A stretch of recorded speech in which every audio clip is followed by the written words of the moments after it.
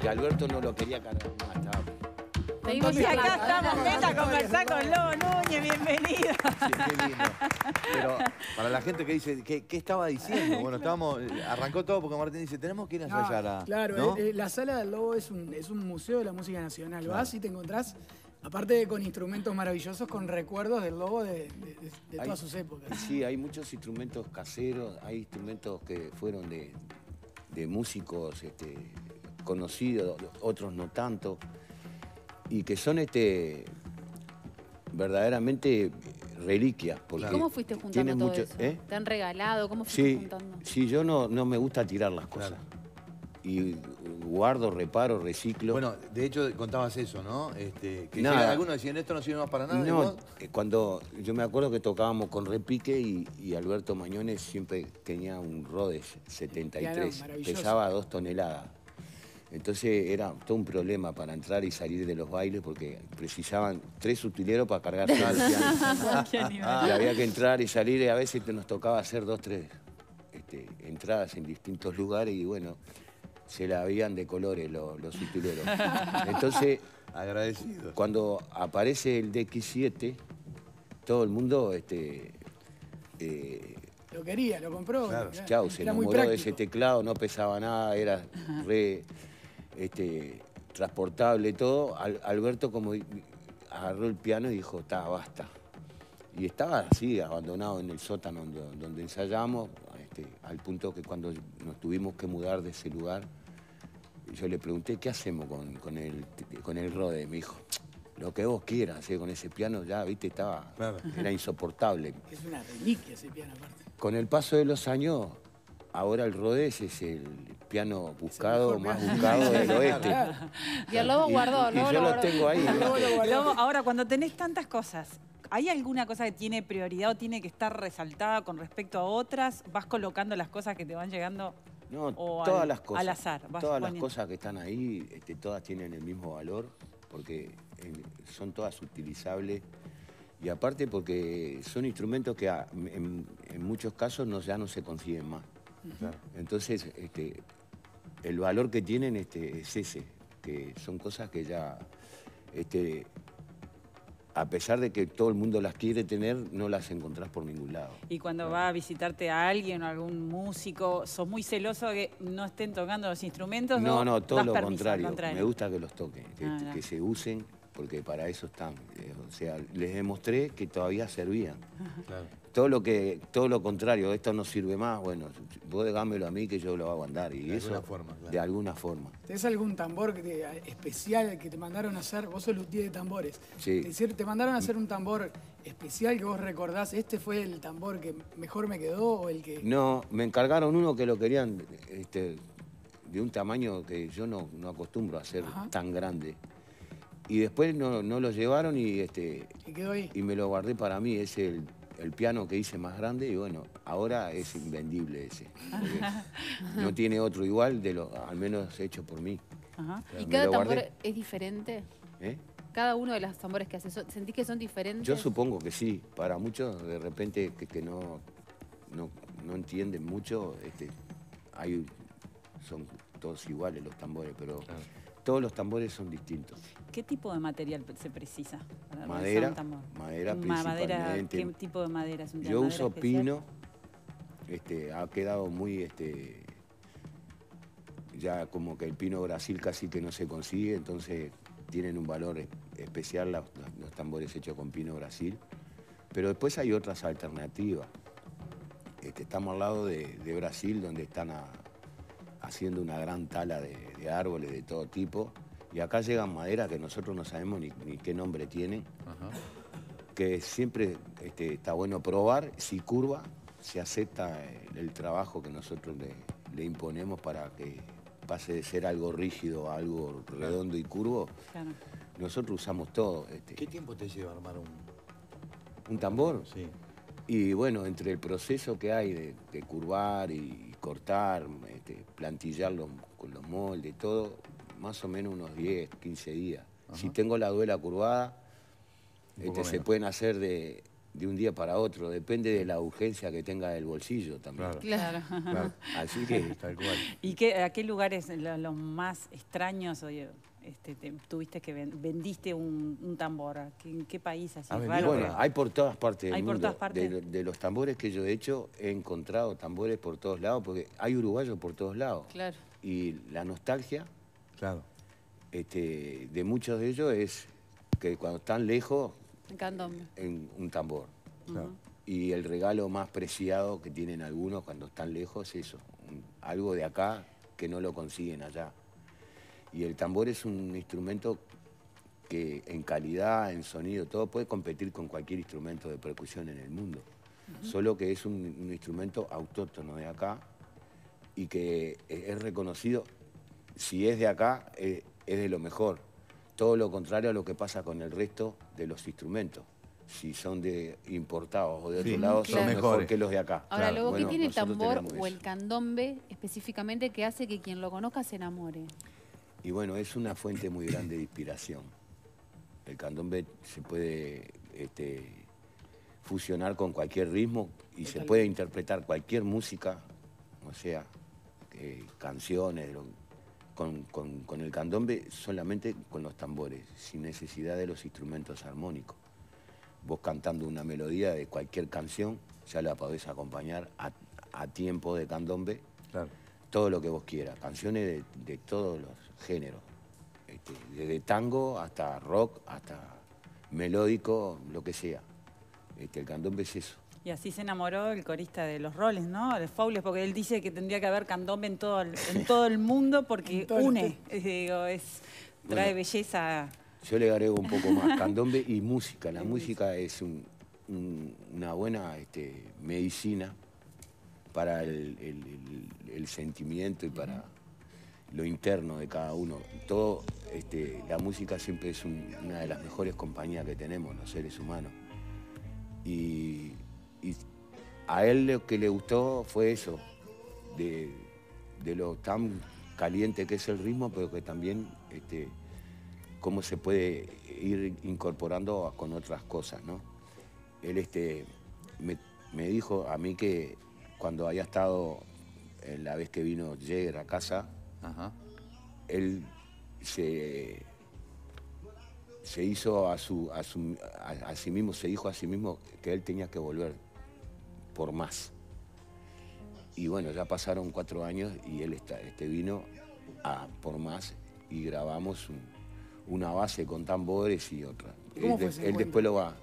¿Cómo fue ese encuentro con él? Y muy, muy bueno, muy sano. Este, yo ya sabía que él iba a venir porque él me la había estado este, tirando la idea hace meses atrás. Ajá. Solo que yo siempre a lo primero pensaba este, que era más, más que nada un, un sentimiento de él, y, pero que, que era, estaba difícil para que se concrete. En esto quiero agradecer a, a Pat- Pata Torres, que es una amiga fotógrafa Fotógrafo. Genia. que fue la que hizo toda la conexión y a través de ella este, eh, fue que nos pudimos comunicar y bueno, se dio la- el, el encuentro junto con Dinamita, el Zorrito y todos músicos que ya han estado en contacto más, Claro. más seguido con él porque Dinamita viaja mucho a Estados Unidos. y- ¿Con temas de los Rolling o, o- o temas propios? bueno, lo que vamos a lo que va a salir en el disco son temas de él, De él. Pero después estuvimos tocando temas de todo el mundo. de todo. Sí, porque eh, si hay algo que hace bien es cantar y, Un popurrí. y es un, la verdad que es un, un zorzal cantando porque le mete swing y está, tiene oficio. No en vano está tocando, cantando con, el- con esa banda que Claro. la número uno. ¿Tu primer tambor fue una lata de pintura? Eh, Yo me acuerdo de haber tocado en una lata desde chiquito y, este, y tener una lata que para mí sonaba, era un infierno todo, como sonaba. Y le, le di tanto palo que la dejé hundida así, pero mm, este, me había encariñado. con- con- eh, todos los niños tocábamos con latas, eran nuestros primeros este, instrumentos de percusión, la lata, porque Pero ¿es era cosa de adultos. ¿Aprendiste o fue de, de escuchar?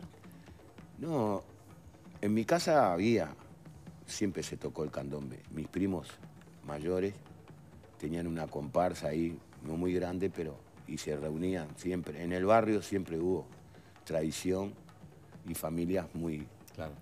Los, los, los Curimba, que eran los Rodríguez Andrade, todo, este, familias de muchos años en el barrio.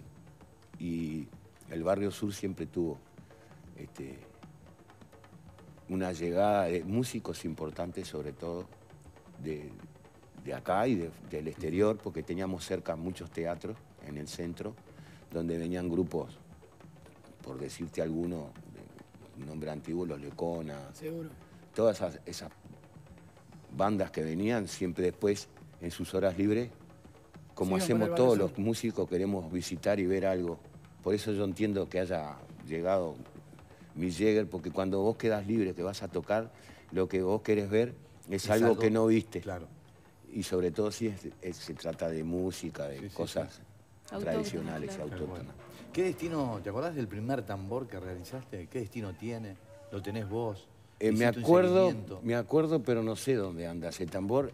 Y, y- y después, cada vez que me acuerdo, no me quiero acordar porque eh, como, como el primer tambor que, que hice, no lo tendría que haber este, vendido. Vendido.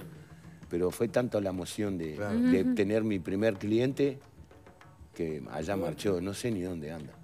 Es increíble, pero este, después que pasan los años, yo siempre me. Sí, te preguntás, ¿no? Es como cuando una vez encon- en- quedó en mi poder un billete de dos dólares.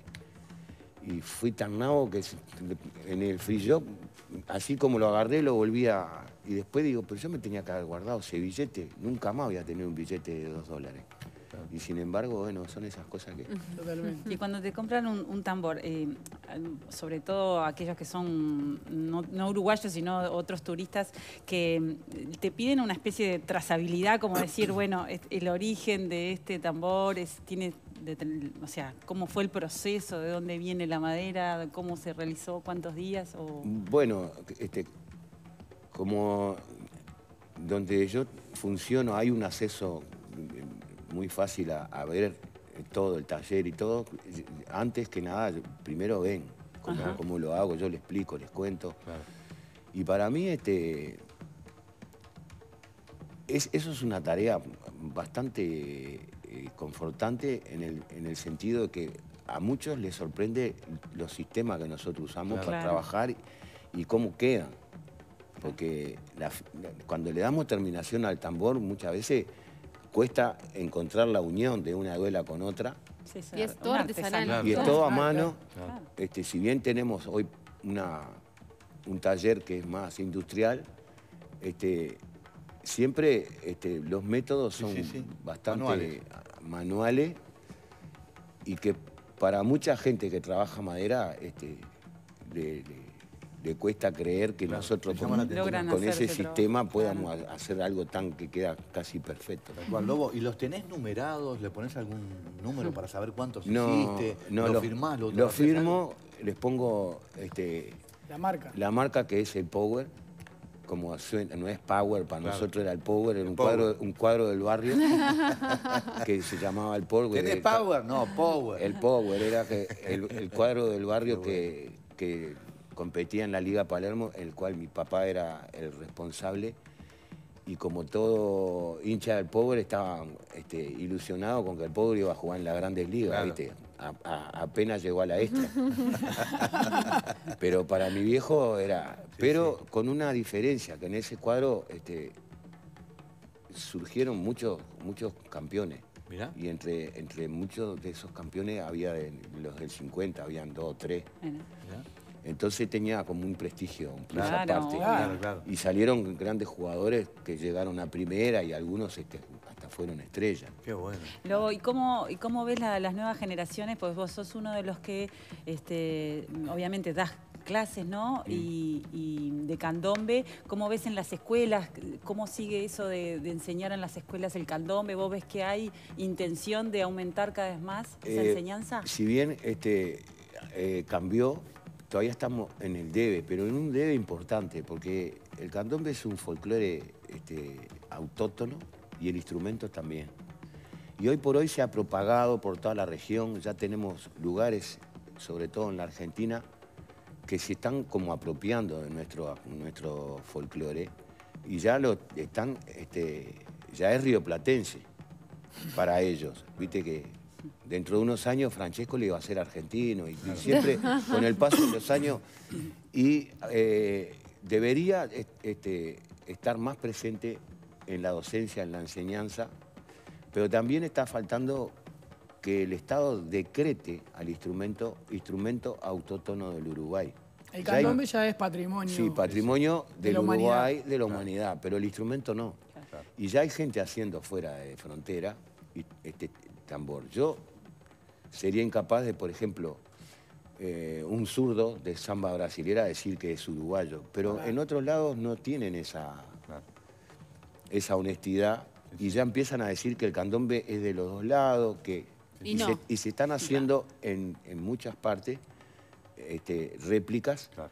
Y cuando me preguntan, le digo, está muy bien hecho y es una buena invitación. Para que quede más o menos clarito. Claro. Y cuando No tocan también, original. digo, ¿De dónde qué- es? son buenas imitaciones las que ustedes interpretan, pero que la tengan clara, que esto es de acá. Claro. La diferencia es de nosotros. Por una razón este, de, de, de ciudad, que Montevideo tiene esa gran parte urbana, pero también tiene una parte rural. En esa parte rural hay muchos viñedos y fue ahí donde nosotros pudimos afanar el oficio del tonelero y retomar y reconstruir nuestros tambores con barriles, Claro. barricas, pero fue una diferencia de nosotros. Este, de- en Buenos Aires viñedos no hay. Están para el lado de Mendoza, para Claro. todos esos lados. Nosotros tenemos cercanía con el puerto y esos recipientes de madera eran muy común encontrarlos acá, en- en- en- en- sobre todo acá en el barrio sur, por la cercanía que tenemos con el puerto. y también en los sótanos de los almacenes, muchos productos que llegaban acá, como hierba, esencias y de todo tipo, este, venían en barrica. Y después de esas barricas iban a los sótanos y de ahí se sacaban y se reconstruían las duelas para poder hacer los tambores de hoy día.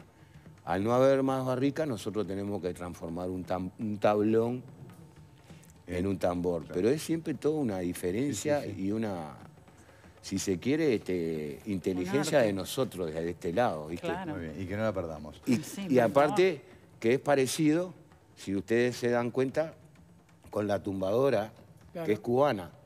Y también tiene el mismo fenómeno que son los barriles del ron. El ron. Así que, que de ahí pudimos afanar todo. Pero lo hicimos acá. Pero el Sí, tamboril es nuestro. Pero es Claro. nuestro. Ha sido un placer enorme. ¿Por qué te gustaría brindarlo? Y me gustaría brindar, este, más que nada, me, me moví un poco el, la nota anterior, ¿viste? Cuando, Kobe, cuando Kobe un- una figura de esa, así tan joven y tan injustamente, sería que, bueno, no, no es festejar, sino eh, Un brindis desde por- acá un por brindis la memoria. por la memoria y para su familia y para la gran familia del básquetbol que deben estar muy sentidos. Gracias, Lobito. Salud. Un placer enorme. ¿eh? Gracias, un placer. Salud, maestro. Lo Gracias. despedimos con un fuerte aplauso. Claro. Gracias, Lobo. Damos vuelta a la página y nos vamos con Cami. Hablamos Cami. Te escucha.